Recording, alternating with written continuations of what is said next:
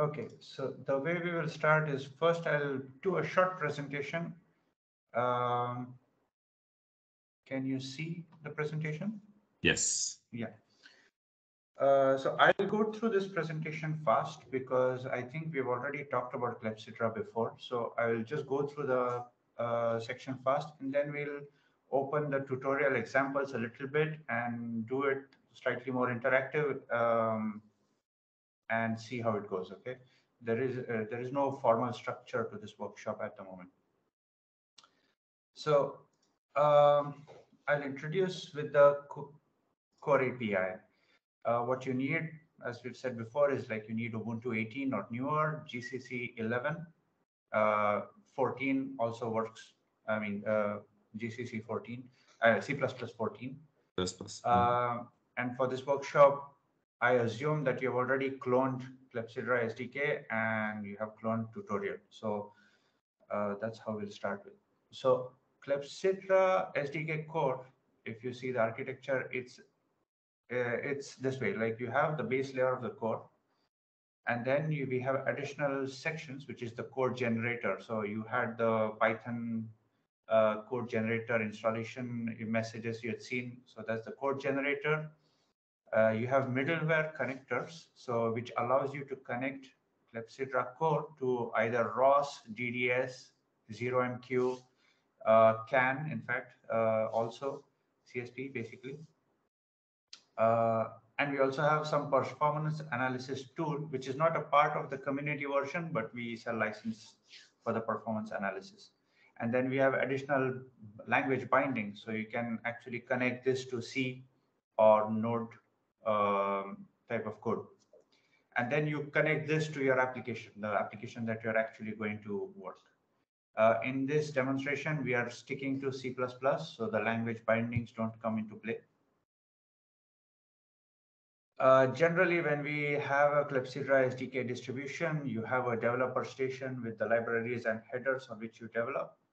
And then the licenses are also given for each of your target computers. So you can have uh, SDK, uh, the SDK running on your uh, Linux computer, and then you cross compile it for your RTEMS distribution or FreeRTOS distribution and so on. So the licenses, I mean, this is just administrative stuff, but I'm just putting it out it's not so relevant to the uh, workshop right now.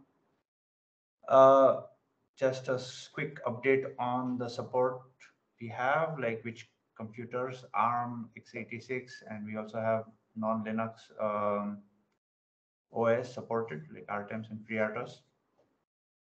And we are adding support more as we keep on working. Uh, so what is the core API? So the core API is basically we have a publish subscribe model. For a publisher, we have two versions of the publish. One is a standard publish, which does a copy of your event. And there's a no copy version, which works with shared point smart pointers. So there are no copies. So it's uh, faster. That's the high performance uh, version. Uh, in fact, in the high performance version, we have two versions. One is the ah. normal one and the no copy one. So okay. Mm -hmm. uh, and then you have a subscriber uh, with which you can register listeners to take actions on the messages that you're receiving. And for these publisher and subscribers, you have something known as providers. So we have an event emitter, which is the base of the of the system. It's generally used for testing. So it's it's synchronous so when you publish, immediately the subscriber is called and the action, whatever you have registered is taken. So you don't, when you run with the event emitter, the idea is that uh, you don't have to worry about the threads or uh, uh, memory problems and so on. So it's very useful for testing your application. Event loop, which is the high performance version, uh, it is used in the case where you have many publishers and one consumer. So a typical example is you have multiple sensors and you want to take action on the, the data you're receiving from all these sensors. And a data multiplexer is the opposite case, which is one publisher and multiple consumers. Mm -hmm. And based on all these ideas, we have a derived, API. So you can have a scheduler to schedule a task and run it periodically. Uh, you can define a service which uh, basically is um, like at each, uh, whenever an event happens, you can use it to execute some action. Or you can define some task which keeps running in the background. So you do a startup uh, and then periodically you execute the action which has been defined and then you shut down. And we also have something known as an environment, which can be very useful for setting global properties. So you can have an environment with uh, these four types of properties, four, five types of properties, which can be shared in your application. So you just share the environment, and then when you say get this property, you have that property for use in some other part of your application. Uh, I mean, in the tutorial, we don't talk about those derived APIs too much. We talk more about the core API because it's already such a heavy concept. Mm -hmm. uh, so yeah, so like I said, there are two main ways of processing your data. One is that you have on the left is the data multiplexer, which is a single producer producing events. And then you're taking action on this event with different consumers. Uh, the other one is the high performance event loop. So you have multiple producers which all publish to the same event loop and the consumer consumes those events. And since they are in the same event loop, you don't have to worry about thread contentions and so on.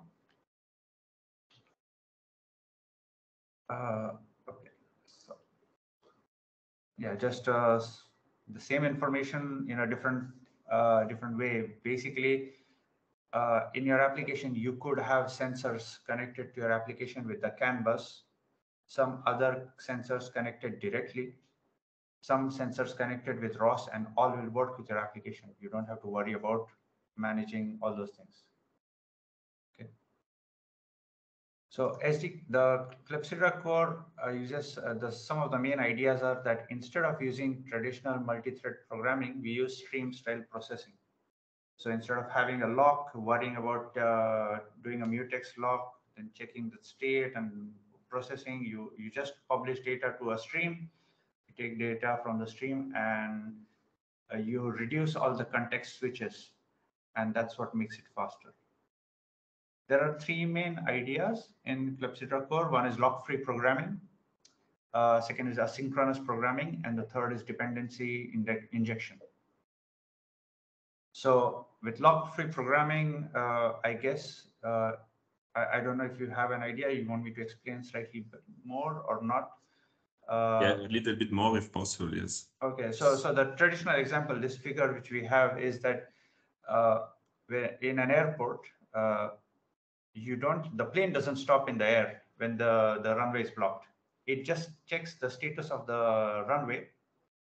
If the runway is is busy, it does a loop and comes back and checks again. So it's doing its own task. It just periodically checks the, the status of the runway and when it's ready, it lands. So it's the same idea. So you have an event loop running and periodically it checks the status of the data. If there is new data, it takes an action. So everything is running in one thread, but in, in the event loop, everything is running in the single thread and it just keeps checking the status of the event. So, so because you don't have context switches, things run much faster. You don't have to hmm. load data in and out and so on. And then the publish subscribe model is asynchronous. Uh, is asynchronous. I'll I'll talk about this in the next slide. And then the third idea is dependency injection, which also I will talk after this. So uh, basically, what we have is that look, suppose you want to print hello world, a classic example. So you define a callback function which will process uh, string data, which is what you have. And then in your main application, you define the publisher and the subscriber on the first two lines. You register the action which you want to take, which is the callback. And when you publish hello world, the, the event loop will call the listener, which is the callback, and publish this data. So you, you only worry right now about publishing the data. And when the provider picks up that data and it receives the data, it will print this to the to to the screen, to the console. So that's the first part. Uh, second is dependency injection, which is basically, like I said in the first part, uh, in one of the first few slides, we have an event emitter and we have an event loop and we have a data multiplexer. All of those three can give you a type, a different type of a publisher and a subscriber. What happens is that all three, when they give you a publisher and subscriber, you could use them in this in the same format. Basically, you take the subscriber, register the callback, the same callback, and you publish it.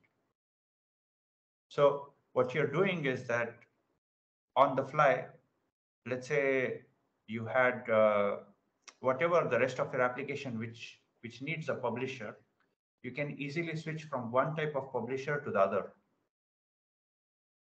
Mm -hmm. So in the testing mode, you have the event emitter uh, publisher, and then when you want to really run your application, you switch to the event loop publisher, and then you have the high performance without changing the rest of your code. Mm -hmm. So that's what dependency injection is. So I'll talk quickly about the advanced features, uh, which is that we have a code generator tool. Uh, it is YAML based. So essentially, you can define your data object which you want to publish as a YAML file, a YAML structure, and the code generator will uh, develop C++ classes which can be used. Uh, there is a middleware connector API for ROS DDS 0MQ, and they also provide a Klepsydra publisher and subscriber. So in fact, if you have an application which uses the publisher and subscriber, you can easily use it with ROS, DDS, 0MQ, CSP, and so on. We also have a performance analysis tool uh, with this, you can do real-time analysis using REST uh, API or with sockets, or you can also do offline analysis using by storing all the logs in, in a file. And one way we do this analysis using the OpenMCT tool developed by NASA. So you get like this very nice charts with real-time performance, like what is the publishing rate, what is the CPU usage, and so on. So this is a part, this is not part of our community version, it's part of our licensed version. Uh, but I'm just showing you how it uh. Uh, the middleware API, uh, so you do, you, you define if you want it for ROS or DDS, and it will create mappers. So your classes which you define uh, let's say you want to publish point cloud data, you define a YAML structure defining the point cloud data, and the mapper will map it from a C style struct to a ROS capable uh, message or a DDS type message, and so on. The mapping is done automatically and so on.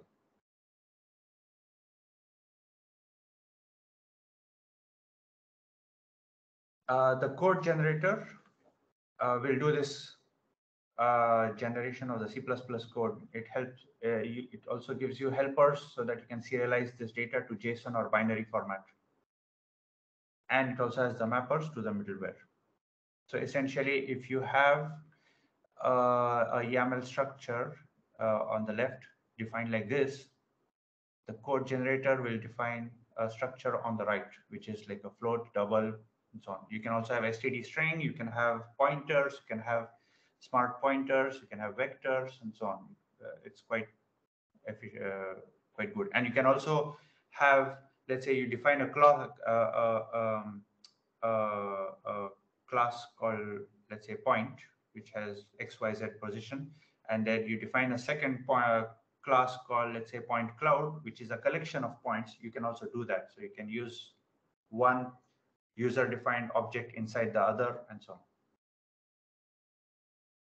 I mean, this is a little bit advanced. Uh, you won't see this. Uh, it's used slightly in the tutorial, uh, but uh, yeah, I mean, uh, it's when you play with it more, you'll see this more.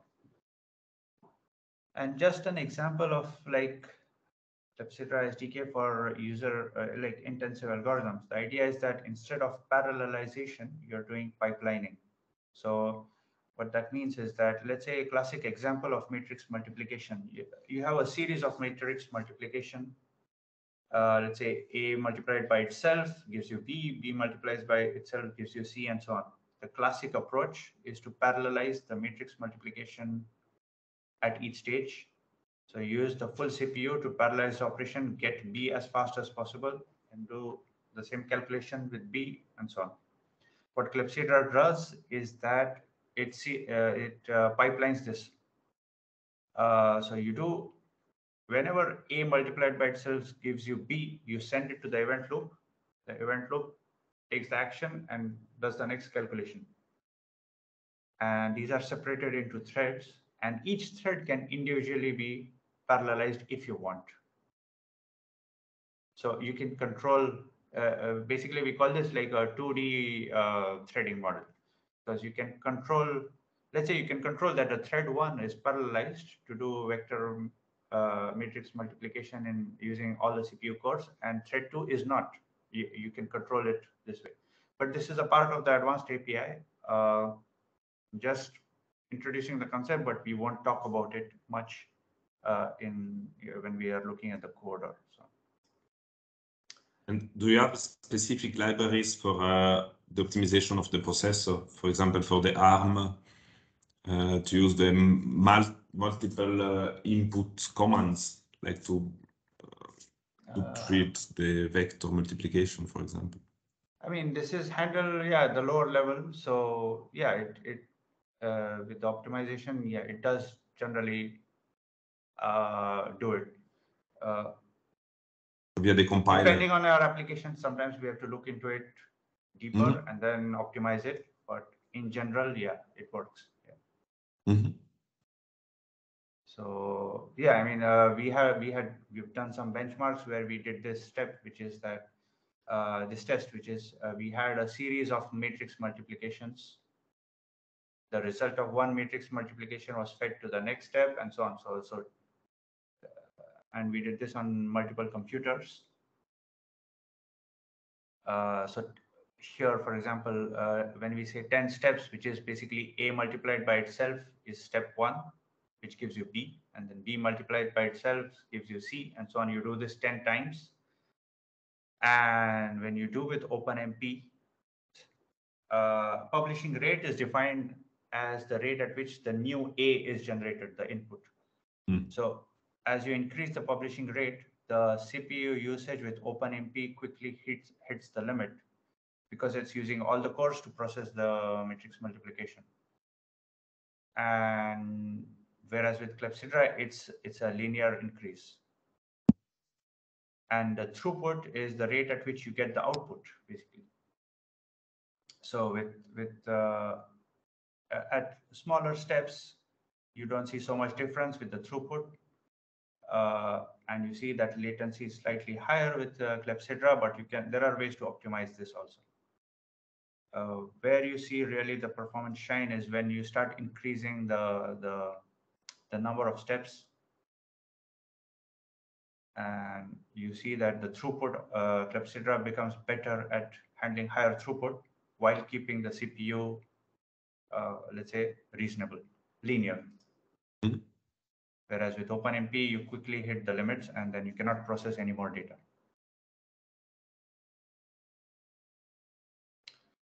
So yeah, so that's basically the introduction of Klepsydra and quickly talking about the basic features and so on. Uh, and if you if you want to like,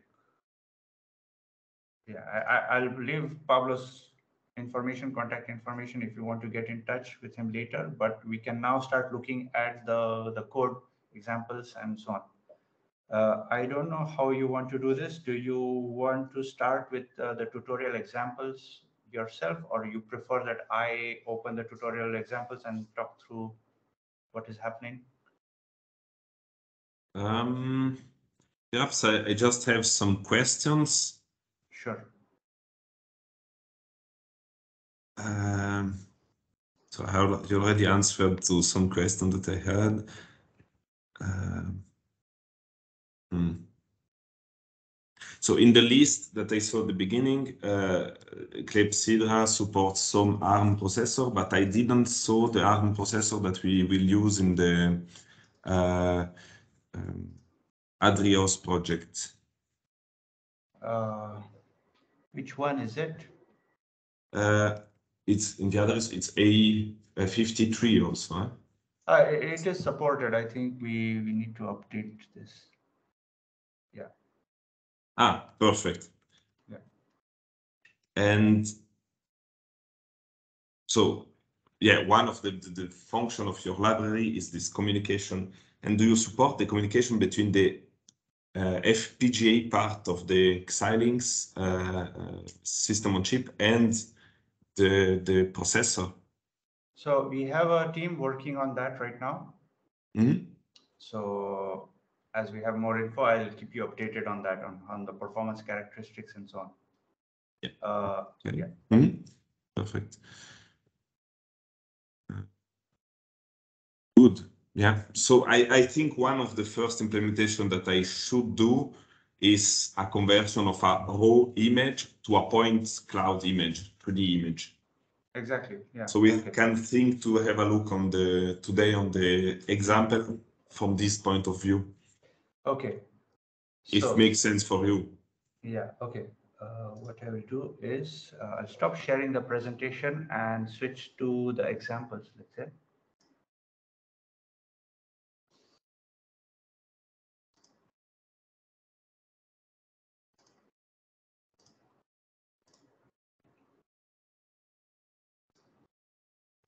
I don't know if you can sh- see like a Yes. Uh, can you see it? Okay.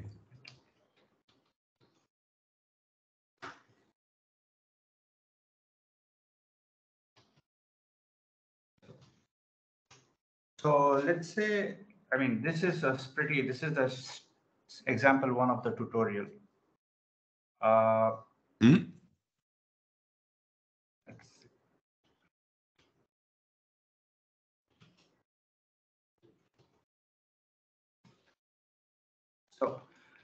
Um, let's say here now your publisher could be um, instead of like a std string in your case, which is a raw data basically. So you could have it as a std string or std vector of floats. Yeah.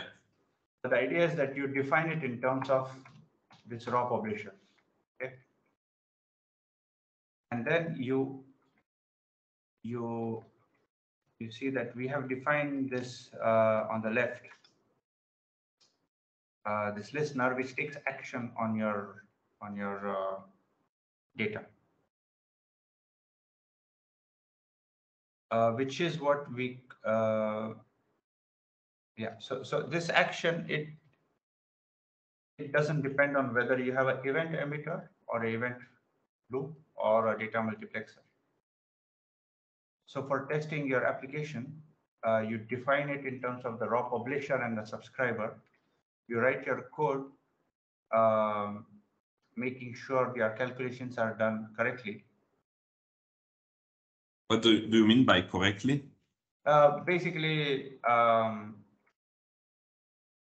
you are separating out the problem. You don't worry about the performance. You write the the you write your uh, function the way with your unit tests, with your uh, input data and expected output data. Uh, you write that without worrying about Klepsydra. That's it. The Okay. only thing is that, uh, for example, the publisher here, example, it, it takes a publisher pointer, but the important thing is the string, right? And the listener on the left here, uh, the it, it, it doesn't need to know about the subscriber here. What it needs is the string, and what its expected output is that it prints the message to the to the screen. So when you write this function, you don't care whether there is Klepsydra running or not. Mhm.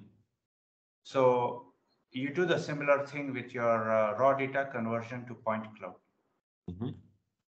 uh, which is that, um, let's say your simple publisher is your sensor, which is taking data, which is which has, uh, let's say, the libraries for your driver and so on. So it's taking data from the memory buffers and it's converting to floating point data or whatever. And then it just publishes that data. Your next step is taking this raw set of floating point data and converting it into a point cloud, which is a series of XYZ points. Again, this, this step this conversion from floating point data to point cloud doesn't need to know about Klepsydra. So what you do is that your uh, driver has a publisher of floating point vectors. Then your converter has a, a subscriber of floating point vectors and does the conversion to point cloud. And the output uh, is publishing data. I don't know, it's, uh, so if you see, let's say example, yeah,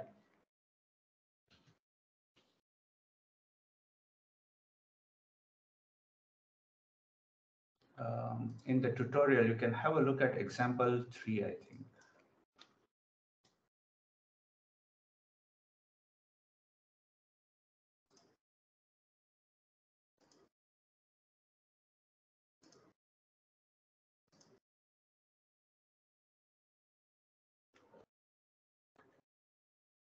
Yeah, because it takes a vector of, vector of data. Okay.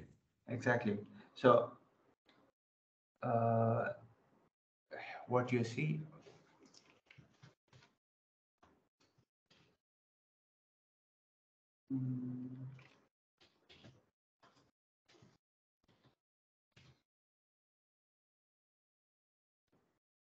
What you have is that uh, okay so here vector publisher what it is doing is generating random let's say pseudo random whatever uh, data just the vector it is just publishing it. And then you have the sum vector data, which is calculating the sum. And using this publisher to publish the result.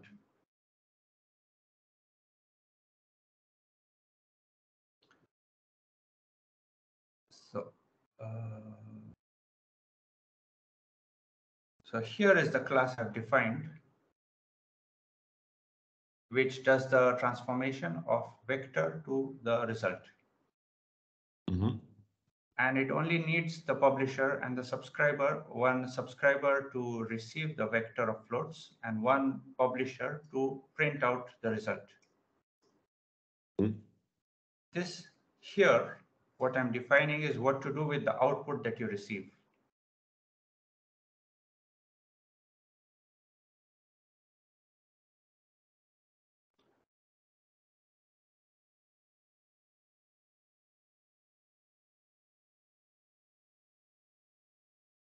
I didn't understand the last uh, part that this you said about okay. the event loop. Event loop.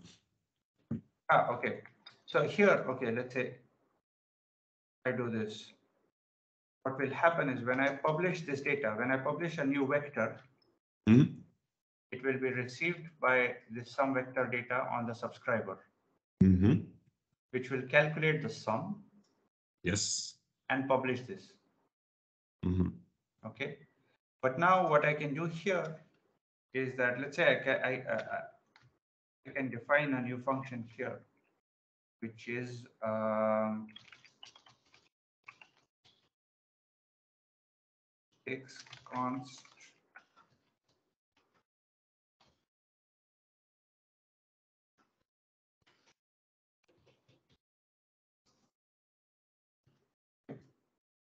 and I can either do uh, stdc out this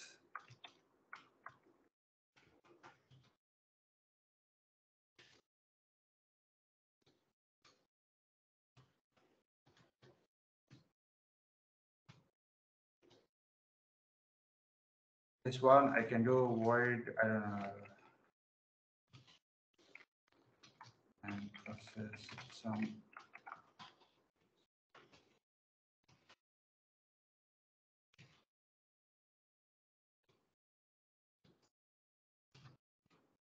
can do some some uh, do something I don't know uh, or let's say uh, float.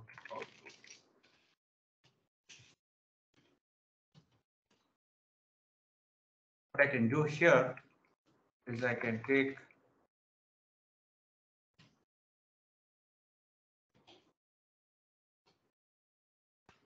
So what is now what it is now doing is that whatever is being published here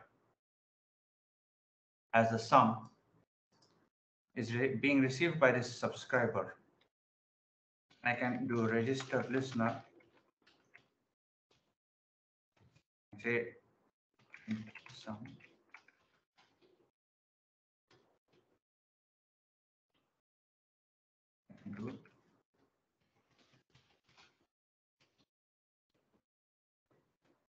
I can also do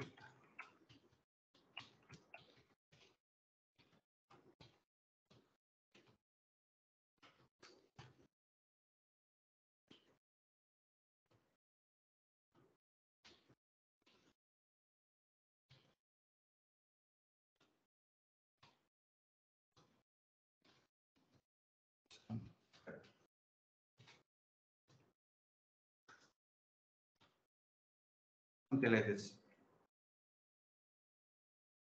So the third option, what I can do is that I can have uh, I can connect another class to this instead, which takes the sum and does something else and then publishes it also. Mhm. What happens in each case is like, like I said, this one doesn't know anything about Klepsydra. These in the, the, the, the functions inside, they don't know anything about Klepsydra. They do their calculations and they just publish the result. Mhm. What you do with the result is is uh, is up to you. Yeah. If you so so this is uh, yeah, and then the next step, let's say, is that well, this is this is already this example is already using the event loop. But to start with, you could use the event emitter, so you don't have to worry about multiple threads and so on. It's the testing uh, case. And this part of your code does not change whether you're using the event emitter, the data multiplexer, or whatever.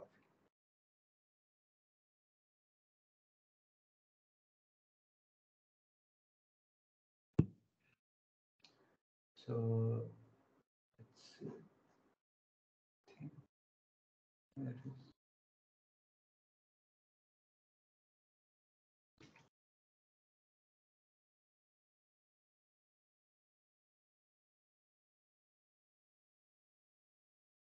I I think we have another example where we do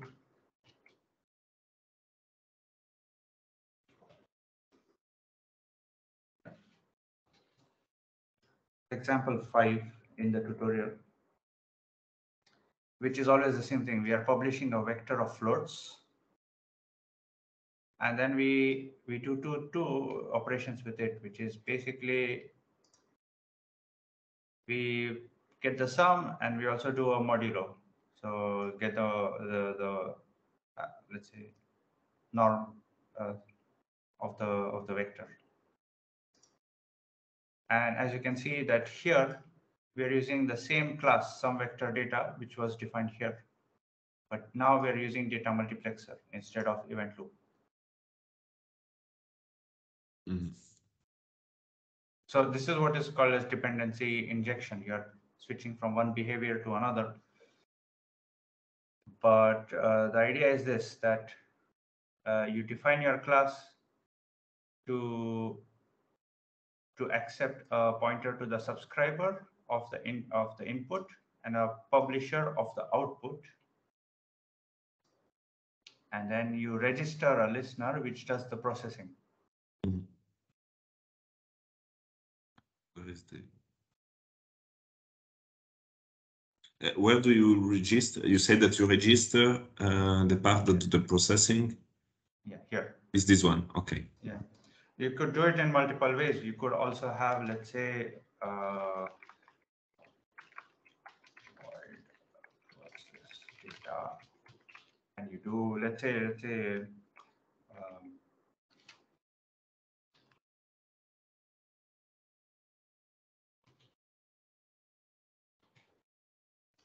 instead of, I- I mean, if you don't want to do lambda functions, you could do it this way. And then you do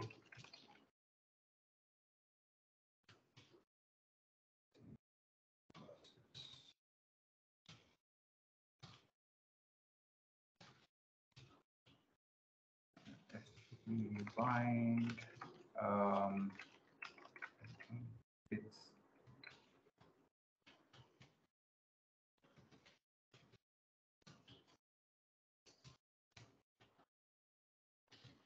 it's called, uh,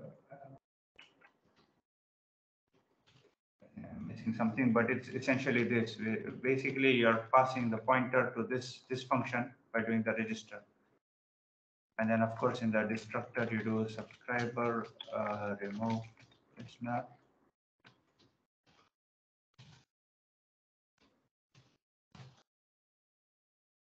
Okay.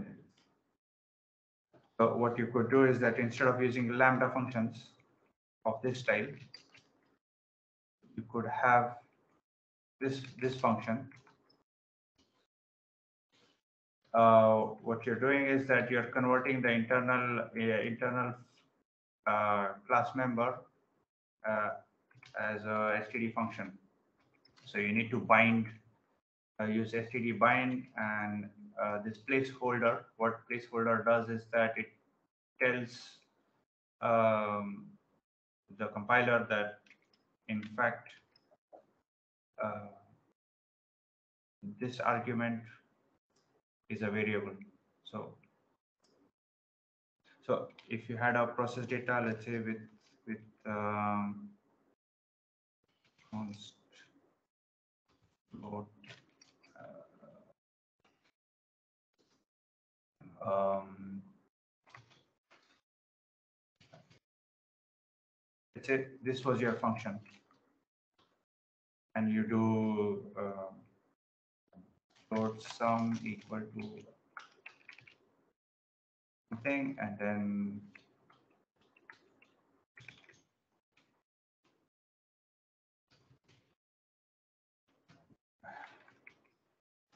and then you had uh, output equal to sum divided by scaling factor. Here what you would do is that you would say um,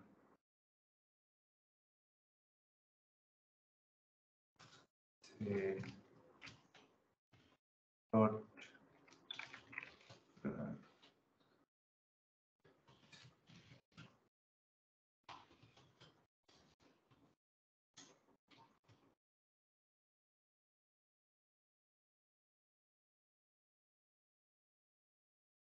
So now what is happening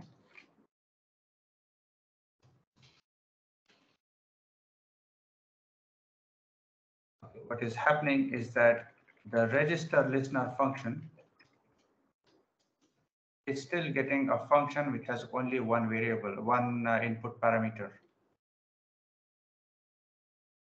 in this type. But the process data which needs two arguments is getting one which is the std placeholder which is the the argument coming from outside let's say the variable and the scaling factor which is here Mhm.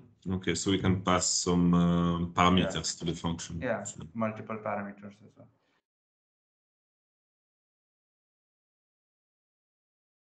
I mean, you could do this in multiple ways. Right now, I've defined this as a member of the class, but you could you could have, let's say, a complicated uh, thing, uh, multiple inputs and so on. You could, well, right now this is a std vector, but instead, if you're publishing a class, you could also, instead of a std vector of a float, you're publishing point cloud data, then all the information is already inside there. Mm.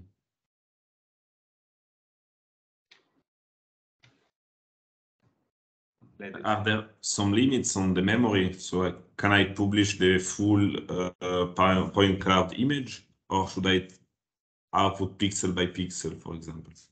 Uh, Well, you'll have to benchmark it depending on how much memory is using. Uh, What you could do is uh, you could publish with the pointers, shared pointers.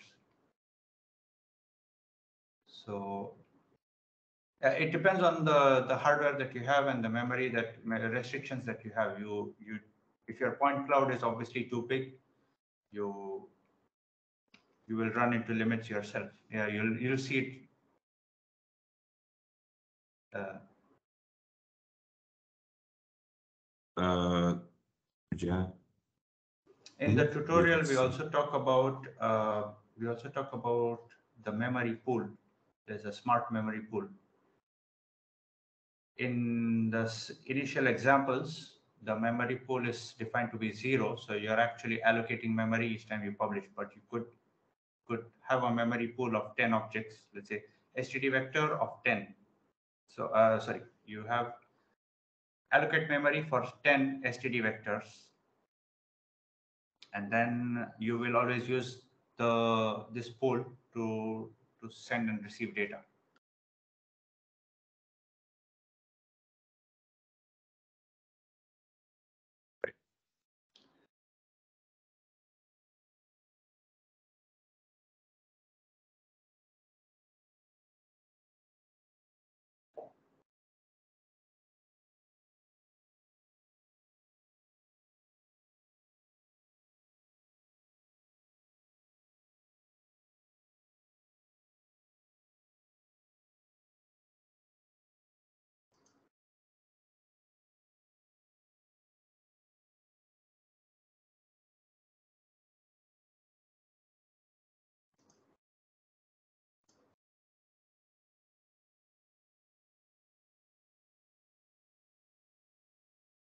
I think I, I need also to spend some time to define a, a tester, so create some uh, data Yeah. to test my system, if I understand correctly the, the, Yeah, the I logic. mean, uh, you can use the, the examples in the tutorial. There is Mhm. also unit tests in the tutorial.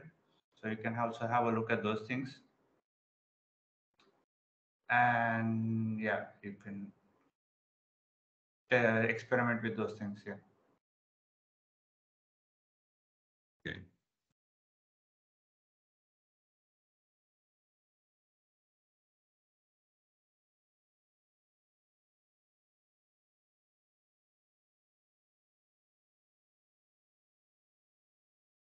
Uh, we have also added like, well, we are, we're about to add it to the main branch, but there is a, a chapter on the state machine also.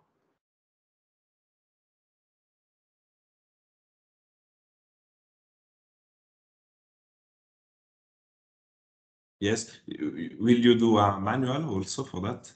Yeah, the manual is, is ready. It needs to be merged to the, I mean, it will be chapter four of this tutorial, basically. So there is a pull request we, which we have worked on. It's, it's today or tomorrow it will be updated. So if you do Okay, later git pull uh, to the KPSR tutorial, you will have the chapter four with like five or six examples. Yeah, I saw that you put some code uh, on the Git, but I didn't found the, the manual. Ah, okay, because it was um, uh, chapter four.md, it was a file ah, in the, okay, yeah. okay, mm, Yeah. skip that.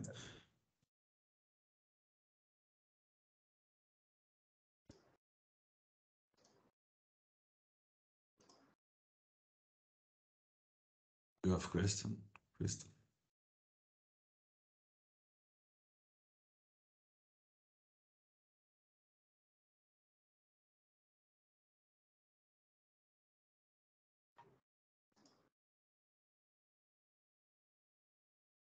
I I saw, I had a look of the MQTT uh, system, and there they have a heartbeat signal. So the, the, Yeah. central system can check that everyone is still there. Do you have a logic like this one? Uh, no, we don't. We don't have a heartbeat thing. Mhm. No. But, like, implement though. sorry? Depending on the case, it could be easy to implement. Like you can have a function like using the, the subscriber and the publisher. You can like just have someone uh, periodic task. Mhm. Every, uh, you code the periodic task to every I don't know 100 milliseconds or something. Just ping the different systems, and then you collect the the result, and then you they go. You, you you have a event loop collecting the responses, and then once all the Checking. systems are corrected, you go like, yeah, everything's fine, everything's not fine. Uh, it's not uh, it's not natively, but I don't think it would be too hard to implement. Like I mean, the CPU usage depends on your listener function, how heavy your listener function is. So if you have a very lightweight uh, listener function, which is just, let's say, you're publishing a boolean, true or false, or something like that, or or a or an integer, let's say, and your listener function is just checking that the integer has received or it has increased or something like that, like a very small logic then you're not adding any overhead, like not much overhead. Yeah.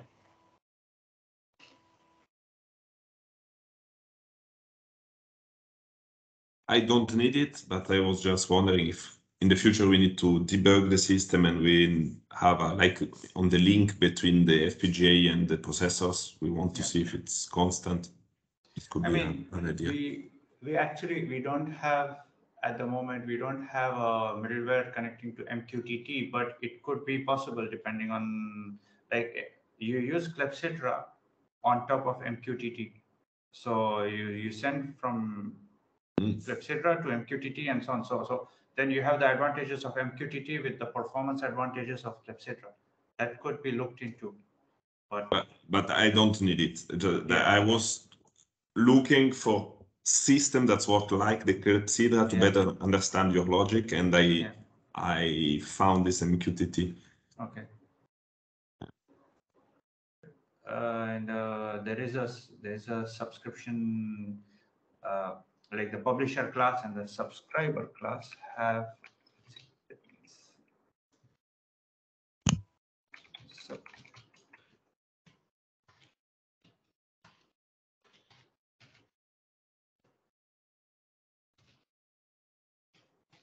so this is your publisher class, which is in the SDK, and it has publication statistics available. And on this project, uh, can we have that? Can we have then the full uh, license, or how it works? To Um, I think uh, we should, you should raise this issue in the meetings. Yeah, okay. um, Because I, I think there are already some talks going on about it, so.